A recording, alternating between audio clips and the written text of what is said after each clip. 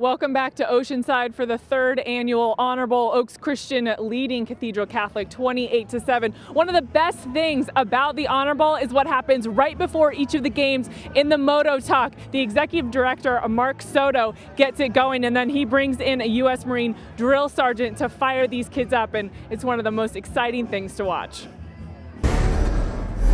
That's week. Good afternoon. Good afternoon. Hey, did we show up for a victory or not? Did we Yes, show up for a victory? Yes, sir. Did we show up for a victory or not? Yes, sir. I say good afternoon. Good afternoon. Did we show up for a victory or not? Yes, sir. Anytime you hear me say three five, you gotta say get some. Three five. Get some. Three five. Get some. Three five. Get some. Three five. Get some. I got a code I live by. I got a Marine Corps code I live by. It's called honor.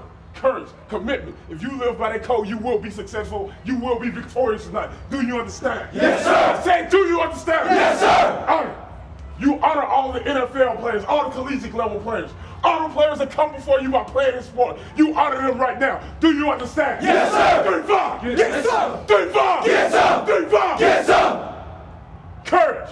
You have the physical and mental courage to keep pushing out here. Never give up. Never give up an inch. Never give up a yard. Do you understand? Yes, sir. Do you understand? Yes, sir. Get some. Get some. Get some. Get some. Three five. Get some. Three five. Get some. Commitment. Every single one of you have shown a commitment to be here right now. Every single one of you have went to practice, has practiced hard, and now you're here at the Honor Bowl.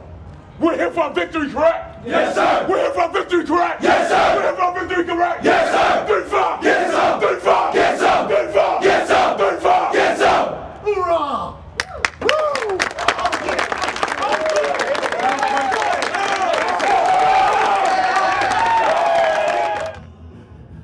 I have to tell you, I witnessed that in person yesterday, and there is nothing that fires you up like a U.S. Marine drill sergeant. Kids definitely walked away with a lot of excitement. We'll have more to come from the Honor Bowl in the third game of the weekend when we come back from break here in beautiful Oceanside, California.